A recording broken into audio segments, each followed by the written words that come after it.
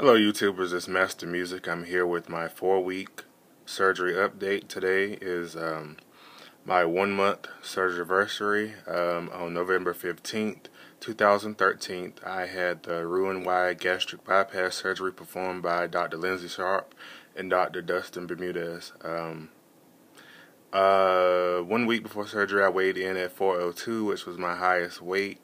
On the day of surgery, I weighed in at 380. Um, today I weigh in at 348. Actually, was 347, 347.8. Uh, that's it.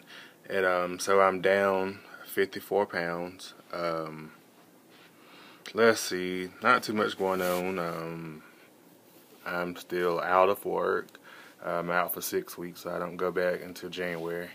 Um, trying to think. Not too much really been going on. I just kind of been taking it day by day. Um, didn't really get in much walking this week. It's been raining all week, so um, hadn't gotten any any walking. But I did get in. Um, I joined the gym up the street, and I've been going there. So starting this week, I'm really to get my workout regiment together and um, get it going.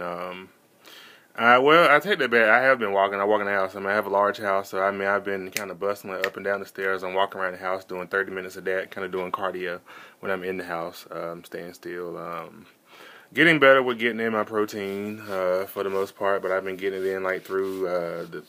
I've been eating that uh, Gokashi cereal and uh, drinking uh, one milk and just kind of getting it in that way and. Um, other avenues like you know chicken breast um, eating a whole lot better now. Um, my body's uh, accepting a lot of things. I had um,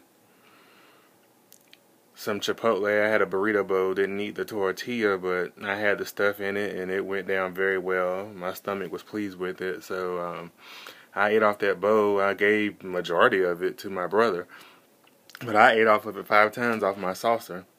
And he still had a whole helping that he ate himself. Um, let's see. Today I had a half a hamburger grilled on the grill, just the patty. Um, it was all beef patty, and um, I ate half of that and got full. And um, I had cereal, and um, I've been eating fruit and different things like that. But then protein shakes, I'm still trying to work up to that 80, guys. I, I'm still not there. I'm still getting in 40 to 60. Is where it is. I mean, uh, I know I'm gonna have to get in some more, and I've been trying, but it's, it's just with them shakes and stuff like that. I just ain't tolerating it. So um, that's basically about the gist of that. Um, other than that, that's pretty much um, being what's going on with me. Um, like I said, I do have a Facebook page now for people to follow my journey on. However, let me put this out there. I have some crazy people that's been trying to follow me. I don't know what you are, what you're promoting, and what you're trying to sell, but I ain't buying it. Um, let me tell you what I don't do. I don't do fraudulent. I don't do bootleg people.